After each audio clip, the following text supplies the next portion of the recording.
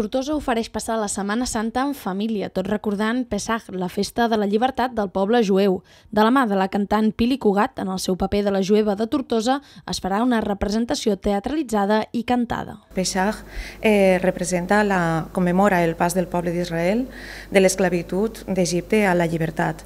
Eh, és una celebració que dura vuit dies, però evidentment nosaltres representarem el que és la celebració d'un dia en concret, que és eh, la primera nit del, del, de Pesach.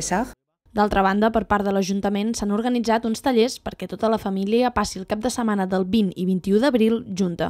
Una gincana de la cucafera, geolocalització d'oficis i aprendre a fer pastissets són alguns exemples del que es podrà fer.